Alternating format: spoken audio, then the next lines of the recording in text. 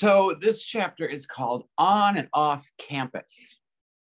And it starts with, um, oddly enough, Meghan seeing her brother off to war, and then quickly go- goes into um, being at school at Columbia, um, you know, wearing, you know, some sort of pro-military something, and um, that being unusual, um, but not getting any flack for it. Uh, you know, the, her classmates may have been more liberal um, and thought they knew everything because they were, you know, you know, taking their first uh, college level classes, and they went to school with Julia Stiles and Joseph Gordon-Levitt, um, which she quickly name drops as her classmates, um, who I'm sure they have, you know, the closest of relationships to this day. Um, and you know how she wasn't um, persecuted in any way for being conservative back then. Um, and then she jumps to um, uh, about a period of time about 10 years ago when she was doing college campus, um, the sort of college campus lecture circuit. Um, you know, going, talking about conservatism, conservatism, um, you know, talking with a moderator for a little while and then taking questions from the audience. She loved it. She said it reminded her of, um, you know, what she called old school politics back in the day when it was fun. Um, and then she talks about how that whole career came to a screeching halt, she says, um, when she went to Reed College. Um, she didn't realize how liberal of a school it was before she went. Um, again, Meghan not doing her own research about where she's going or why she's there. Um, and uh, when it got to the question and answer period, somebody said, um, it's not a question. The only reason you're here is because who your father is. And then someone else got up and asked a question about um, tax policy. And um, she gave an answer about flat tax and something. And, and, and he said, if you don't understand the complexity of tax rules, why are you um, talking about taxes, especially, especially since um, you are a person of influence? He, he made a point to say that um, you know your opinion is an is an opinion, and it, you know it, it, even if it's uh, not you know well versed, um, it's fine. The problem he was having is because she's a public person, um, and has been on TV and has an influence and um, you know has a blog and I mean basically because she has influence, when she says something it carries more weight. So doesn't she take that responsibility um, when she's you know trying to uh, you know convey her opinions on something that she doesn't really know much about, um, and so know her response was just because you don't know every stat in the NBA or the uh, uh, in Major League Baseball doesn't mean you can't have a favorite baseball team. That's a terrible analogy for what he's talking about.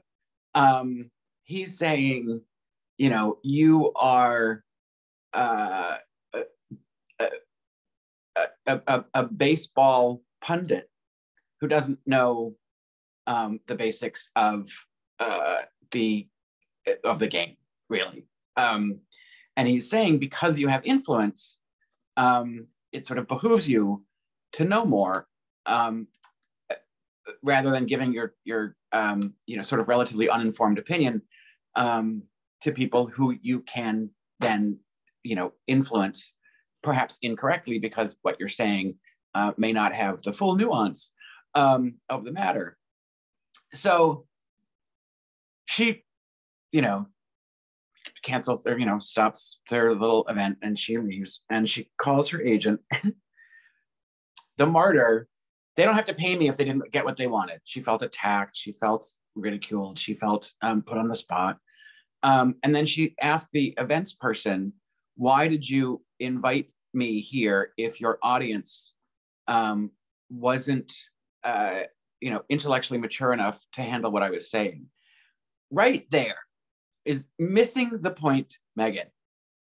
No one said they weren't um, willing to hear your opinion or that they didn't care for you because of your opinion. They didn't care for you because they didn't think that you were qualified to talk about what you were talking about.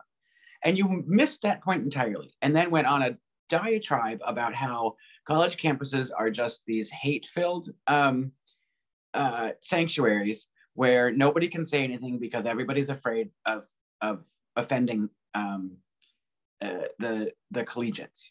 And she uses examples like um, Jerry Seinfeld and, and Chris Rock saying it's very difficult to do comedy at um, a political at a at a at a university anymore.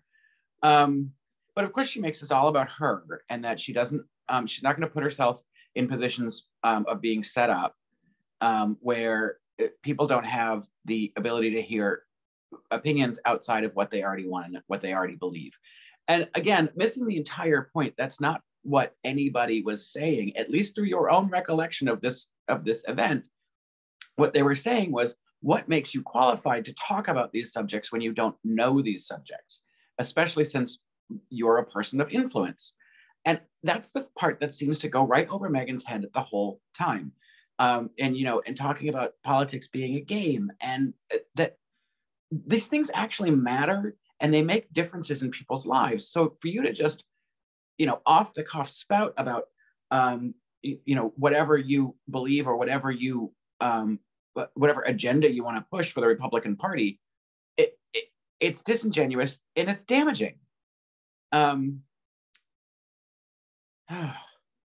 I agree. You don't have to know everything to have an opinion about it, but um, you need to um, you need to have the emotional maturity to take responsibility for the things that you do say and influence that you do have um, and, and and especially when um, you are aware of the fact that you are um, underinformed or don't understand the full breadth of a topic um, never at any point did you uh, say in this chapter that you wanted to better understand the issue that you weren't um, expressing to uh, it, with what he felt was enough um, authority, uh, you didn't want to learn. Uh, you just wanted them to shut up. And it's not the way it works.